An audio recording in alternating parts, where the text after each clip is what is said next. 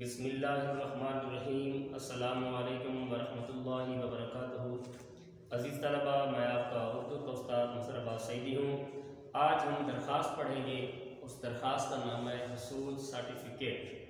दरख्वास्त का नाम क्या है? हसूल सर्टिफिकेट, यानी इदारे से आपने हेड मास्टर से सर्टिफिकेट लेना है। तो आप किस तरह जो है आप दरख्वास्त लिखेंगे? दरख्वास्त सबसे पहले दरख्वास्त का तरीका, आप कोई भी दरख्वास्त लिखते हैं, उसका तरीका आप समाप्त करें, ताकि आप लोगों को जो दरख्वास्त के अंदर आपकी गलतियाँ होती हैं, वो गलतियाँ दूर हो सकें। सबसे पहला ये है कि हमने खास दरख्वास्त लिखी दरख्वास्त सर्टिफिकेट दरख्वास्त के बाद हम उसका नाम लाजमी मैंशन करें भी कौन सी दरख्वास्त लिख रहे हैं। उसके बाद आगे जब हम शुरू करते हैं दरखास्त, बाखिदमत जनाब हेड मास्टर साहब। हेड मास्टर के बाद आप कौमा लगेंगे अगर बाखिदमत के बाद आपने जनाब लिखा है तो उस हेड मास्टर के बाद आप साहब नहीं लिखेंगे। यानी आपने जनाब लिखा है तो साहब नहीं लिखेंगे। अगर आपने साहब लिखा तो ये बिल्कुल गलत होगा।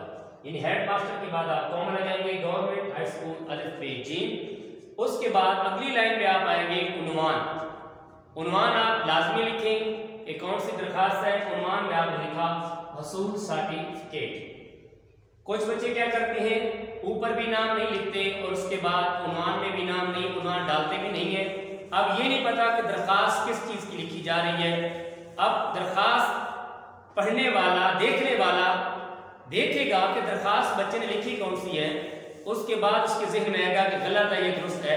तो जब तक आप उसका नाम मेंशन नहीं करेंगे तो उस वक्त ये चीज़ मालूम नहीं होती उसके बाद आगे उन्वान के बाद आप लिखेंगे, जनाब आली। अक्सर बच्चे क्या करते हैं कि जनाब आली के के लिए के ऊपर खड़ी रबर लगा देते हैं। और ये तरीका बिल्कुल गलत है। अगर आपने के लिए के ऊपर खड़ी रबर लगा दी तो आपका एक नंबर कट जाएगा।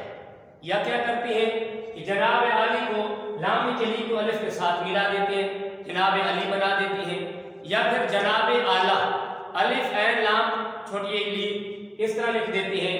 या सिरे से विदाया लगाते भी नहीं ये गलत तरीके अगर आप इख्तियार करेंगे तो आपका एक नंबर आपका कट जाएगा। सही तरीका क्या है कि जनाब आली, लाम के के ऊपर कुछ नहीं आता, आगे इसका निदाई आता है।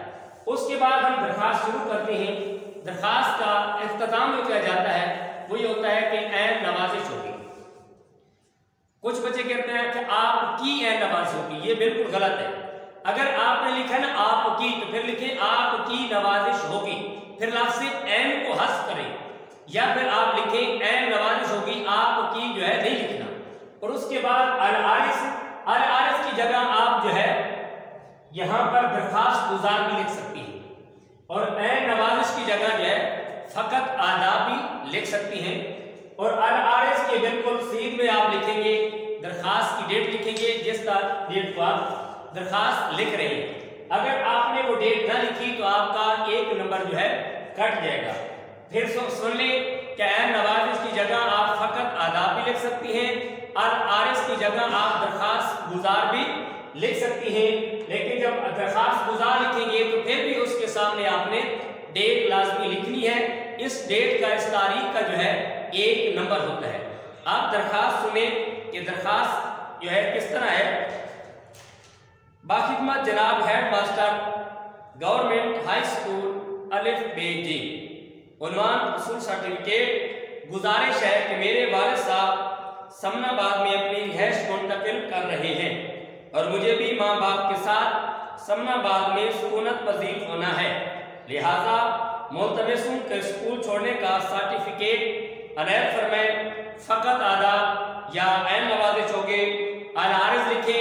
फिर दरखास्त गुजार नहीं लिखेंगे। अगर दरखास्त गुजार लिखेंगे तो फिर अल आरिज नहीं लिखेंगे। अल आरिज मोरखा पाँच मई दो अल आरिज मोरखा छः मई दो हज़ार इक्कीस। आपका प्यारा शागिर अलिफ बे जी। ये थी दरखास्त। दरखास्त में आपने वो नोट कर लिया होगा कि जनाब आली की लामने के लिए के ऊपर कुछ नहीं लगाना। और एन नवाजिश लिखना है तो आप की नहीं लिखना और आर आर एस की जगह आप दरखास्त गुजार भी लिख सकती हैं। लेकिन अला तोसीब के बिल्कुल सीट के अंदर आप मौखा लाजमी लिखें। और ये लिखने का तरीका ये कि आरिस के बिल को साथ भी नहीं मिलाना। इसके अंदर वक्फा होना ज़रूरी है।